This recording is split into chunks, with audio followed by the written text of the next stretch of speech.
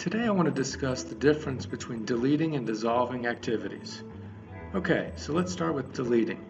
When you delete an activity by simply clicking on the activity and hitting the delete button from the keyboard or you can hit the X button from the command bar, the system will remove the activity but it will also remove the relationship between it and its predecessor and it and its successor. So, for example, if I was to delete activity G1110, the system would remove the activity and also break the tie between it and 1100 and it and 1120, moving 1120 all the way back to this data date.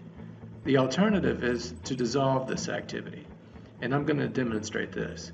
So to dissolve an activity, which would remove the activity but maintain schedule logic, you simply need to right click on the activity at hand, choose the dissolve feature. It's going to prompt you with a question, are you sure you want to dissolve the selected activity? I choose yes.